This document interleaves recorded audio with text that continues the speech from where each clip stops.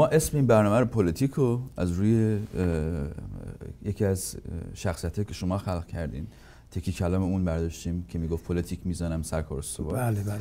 بندلی تمشیت پاسگاه به عهده تو تا من برگردم. سرکار یه پلیتیک یادم آمد. حالا دیگه کار ما به جایی رسیده که تو برامون پلیتیک می‌زنی؟ این پلیتیک و اون شخصیت چجوری به ذهن به ذهن شما رسید؟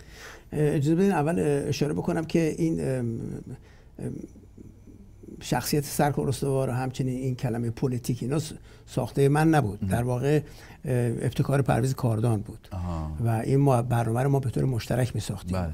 یه دونه اون می ساخت یه دونه من می ساختم هر هفته. و ولی آغازگر اون آغازگر این کار پرویز کاردان بود. و به هر حال هر هفته مجبور بود به خاطر چیزی که داره وضعیت شخصیت character ش یه پلیتیک بزنه یه مشکلی رو حل کنه. بله. و چون اصطلاحا ما برای حل زدن حل مشکلات در داخل ایران می‌گفتیم پلیتیک می‌زنن معمولا سیاست مدارا به خصوص. اینو این واژه رو گذاشت و اصلا فکر نمی‌کرد که یا ما فکر نمی‌کردیم که این این واژه امروز آنچنان تکرار میشه و اینا. بله. چون اصلا فکر نمی‌کردیم اصلا اون سریال بتونه دوام بیاره. چون معمولا عمر برنامه های تلویزیونی اه، کوتاهه یا من, من فکر کردیم حد اکثر 13 هفته بله. ما سی- یک سزون به ما خواهند داد ولی خب این هی تکرار شد و هی محبوبیتش باعث شد که شاید طولانی ترین سریال تلویزیونی است که بله. حتی بعد از انقلاب هم سابقه نداره که مثلا 400 اپیزود خیلی ساخته شده باشه. به همین دلیل جا افتاد و از جمله چیزهایی که جا افتاد همین پلیتیک زدن سرکار استوار. یعنی چی پلیتیک؟ یعنی حق... یعنی حقه به کار بردن. حالا ما با همین دلیل ما ایرانی ها فکر می‌کنیم که سیاست چیزی نیست جز حقه بازی. بله. و این اصطلاح اصطلاحی است که از اون میگه پلیتیک می‌زنه یعنی حقه می‌زنه یه نیرنگی می‌زنه بله. که با این نیرنگش یه مشکلی رو یا یه گرهی رو باز می‌کنه. چارلی چاپلین با آدم به این گندگی با یک character چارلی چاپلین هست که می‌تونه که اینقدر معروف بشه. ولی شما اومدین مخصوصا در سمد تمام character هایی رو که ساخته بودین قبلا همه character ها اونا به خودشون تنهایی می‌تونن lead کنن. و حرکت کنن به سمت یک قسمتی و ملت رو بخندونن اینها. چطور شما این همه کرکتر ساختید در زندگیتون؟ همونطور که اشاره کردم اینا به اصطلاح مدیون گذشته زمان و تکرار شدن هستن. روز اول که شما این کرکتر می‌سازی فکر نمی کنی که اصلا عمری خواهد داشت. ولی شانسی که من آوردم یعنی شانسی که این نمایش های سریال های یعنی فیلم هایی که از سمت باقی مونده به دست آورد. اینها به مرور مردم علاقمند شدن به دوباره دیدنشون. این دوباره دیدن ها باعث شد که به عمر این کرکترها و این شخصیت ها اضافه بشه و اینا جا بیفته توی فرهنگ معاصر ما به عنوان مثلا عین الله مثلا اینا, اینا فقط تنها همطور که اشاره کردی سمد نیست. گفتم اینا بیشتر شانس شانس دو زمان باید پیدا کنن تا اینا بله. بتونن جا بیافتن. بله. در اون زمان خب خیلی همه دوست داشتن که کارهای روشنفکری بکنن ولی شما این میدیوم رو استفاده کردید برای اینکه بتونید اون حرفای مهمی که در فیلم های سمت به نظر من گفته میشه گفته میشه. چرا اونجوری چرا چرا چرا از این راه چرا مثل بقیه نرفتین که مثلا کارهای چی بهش میگن جدیدن کارهای مثلا روشنفکری فلان کار بکنید. چرا مثلا همش ساموئل بکت کار نکردید چرا اون رو ادامه ندید و چرا رفتیم به سمت یه چیزی مثل سمت خب ببینید در حالی که سمت هم داره حرفای مهمی می‌زنه کلا. آره حالا شما دارید بهش ارفاق می‌کنید ولی به سمت کسی ارفاق نمی‌تونه آره ببخشید کارهای فاخر میگن می‌خواستم بگم. الان میگن چرا کار فاخر نکردیم؟ آره. من هم به سهم خودم کوشش کردم بعضی این به صورت غلط های اضافی بکنم. ولی شاید خریدار پیدا نکرد. می‌دونید وقتی خریدار پیدا نکنه همه کارا متوقف میشه. وقتی مردم فرهنگ جامعه جذب نکنه اون چیزی که شما به عنوان کار فاخر یا کار روشنفکرانه بهشون عرضه می‌کنی خب به طور قطعی بله. نقطه پایان می‌ذاره به فعالیت شما. من فیلم های مثل طبیعت بیجان یا در غربت این فیلم ها رو ما ساختم ولی اگر تکرار نشده اگر تعدادش زیادتر نشده برای اینکه خواهان نداشته.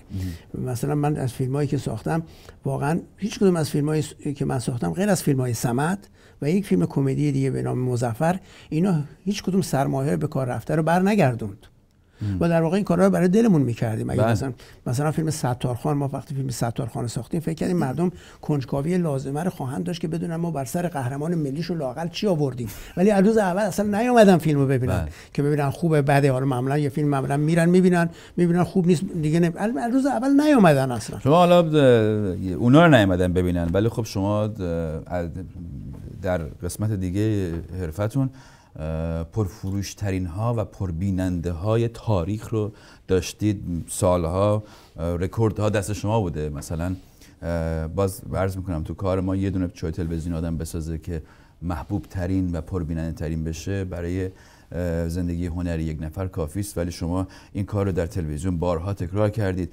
در سینما در امتداد شب بار سالها رکورد پرفروش ترین فیلم تاریخ سینما ایران رو داشته.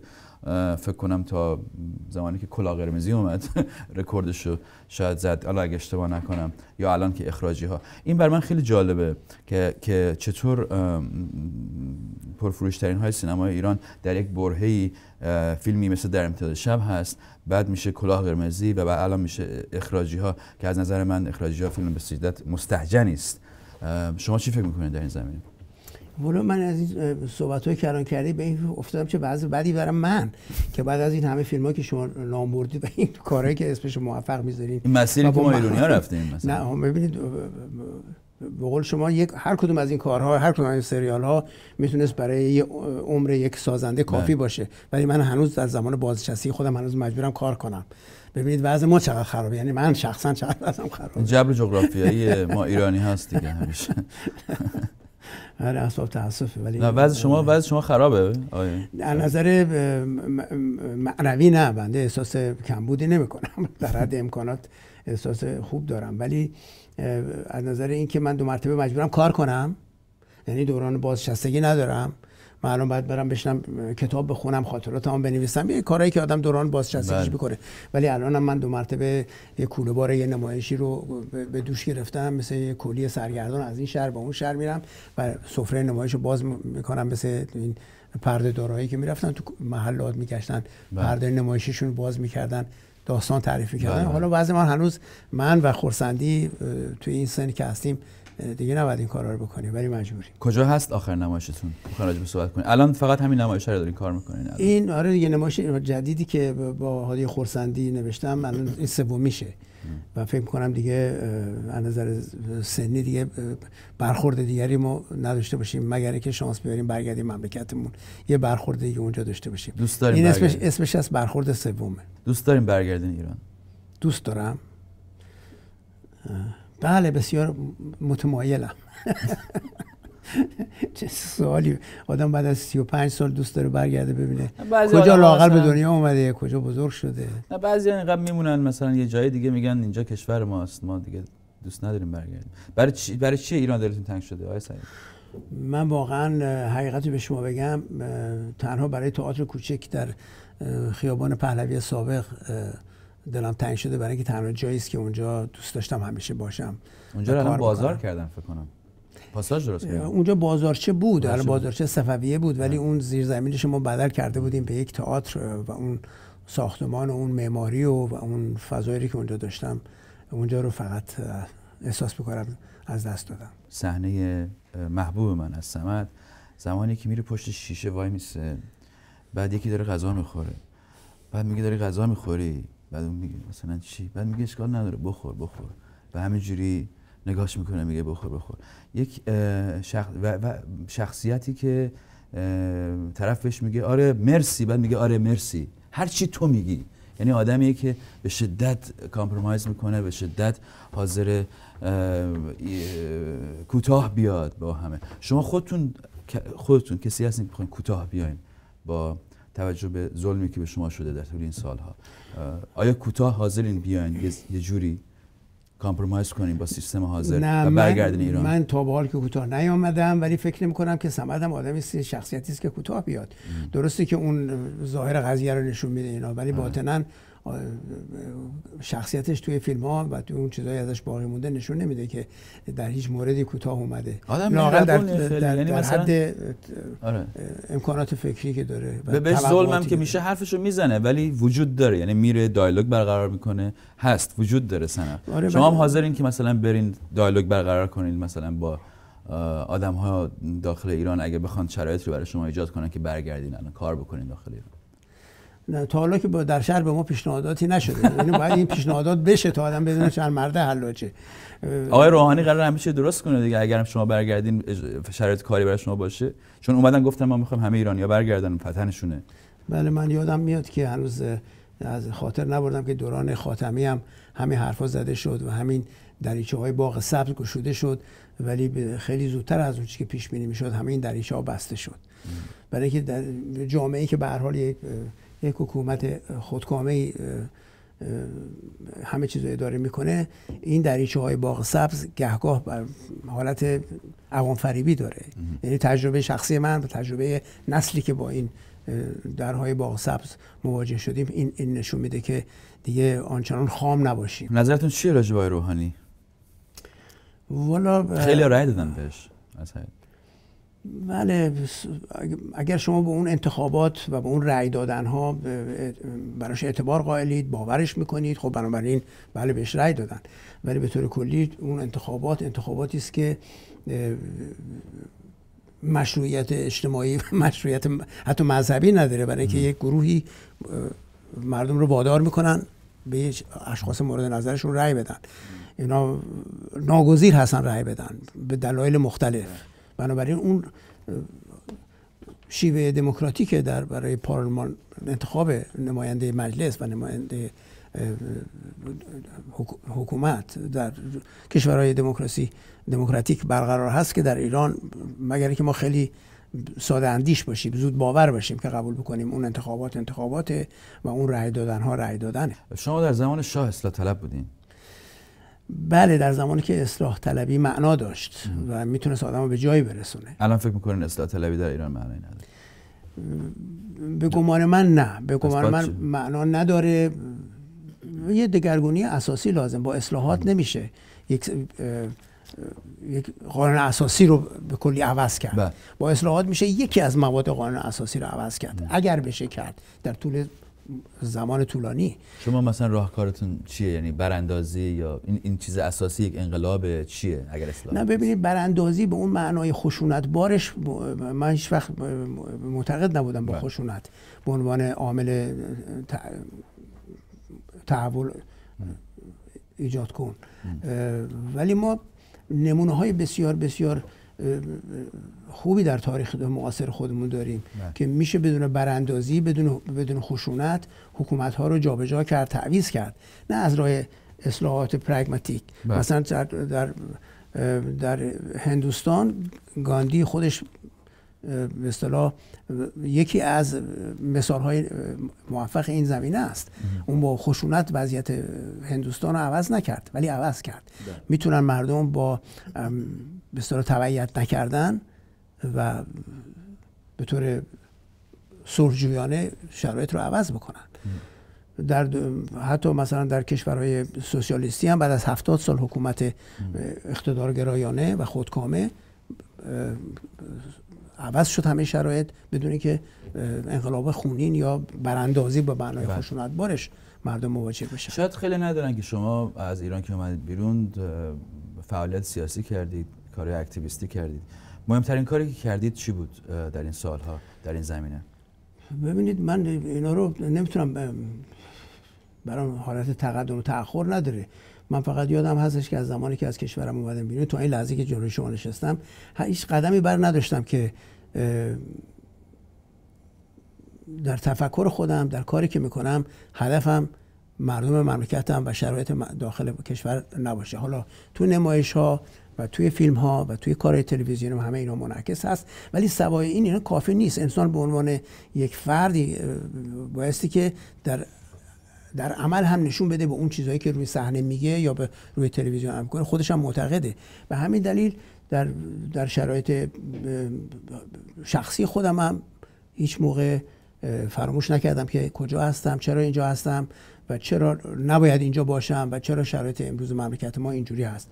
در نتیجه من خودم فعال سیاسی نمی‌دونم بله. ولی در زمین حقوق بشر همیشه فعال بودم. بالاخره شما در زمان شاه هم منتقد بودین.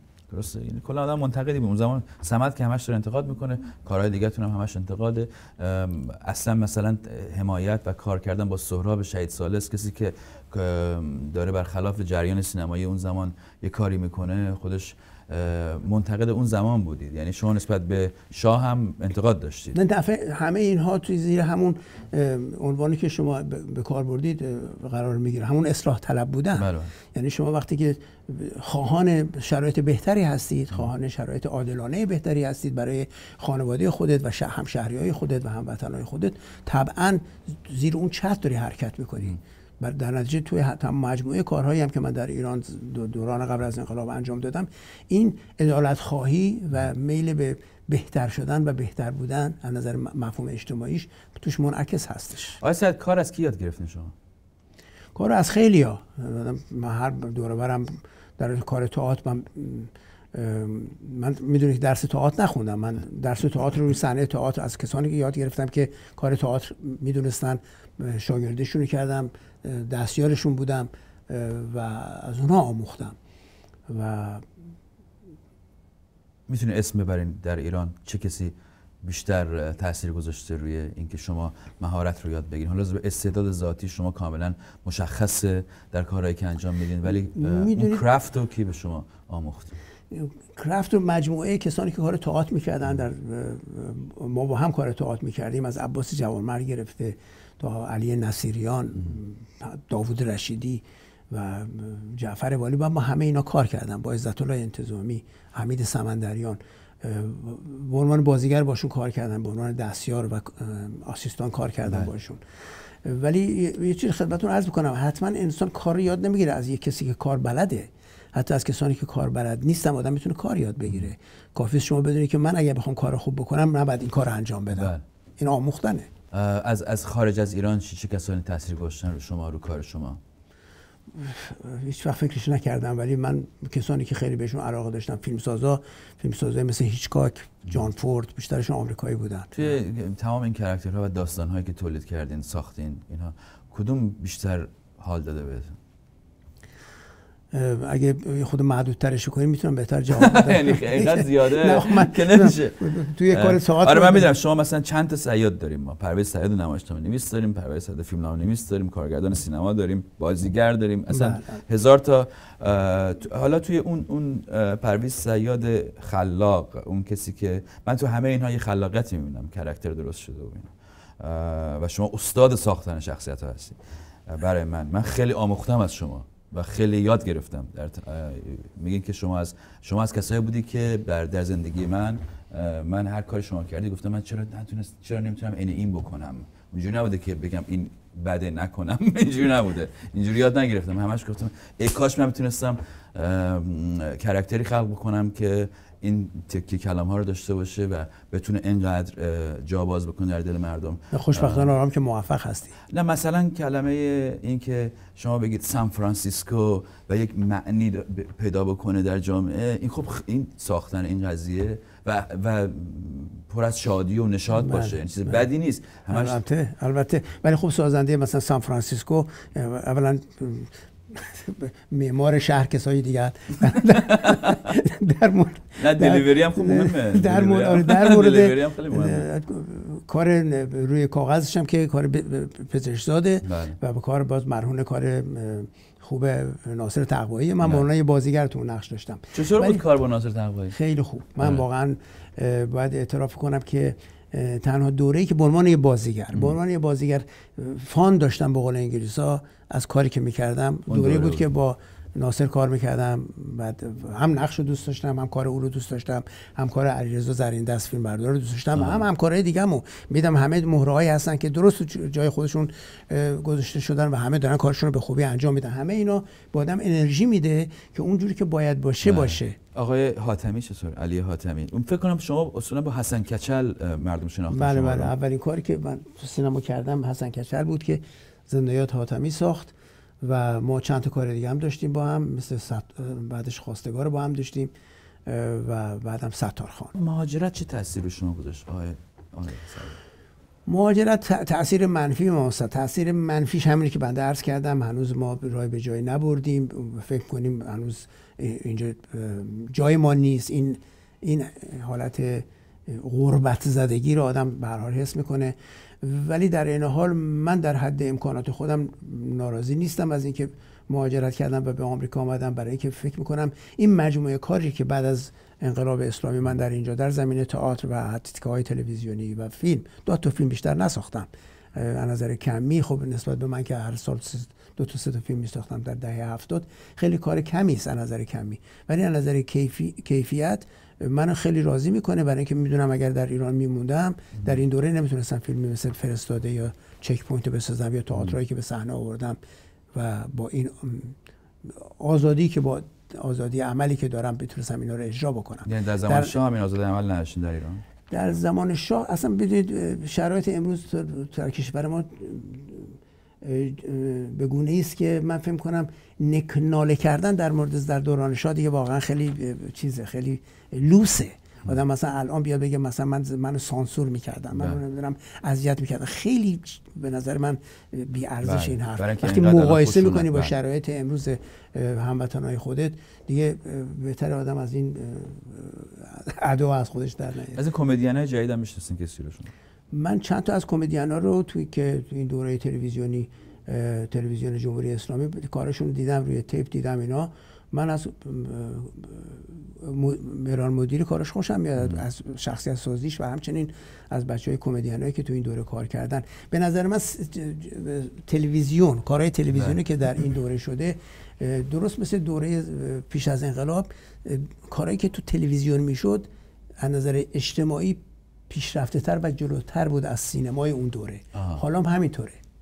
حالا کاری که تو تلویزیون بچه ها انجام دادن در این دوره بیشتر معرف خصوصیات این دوره است تا سینمای این دوره. شما بهترین فیلم های این دوره رو اگه نگاه بکنید خصوصیات جمهوری اسلامی درش نیست. شما نه بسیجی می‌بینید نه ملا می‌بینید نه پاسدار می‌بینید نه اون خشونت هایی که تحت پشت اتاق خواب مردم هست می‌بینید. همه اینا خیلی ملایمن خیلی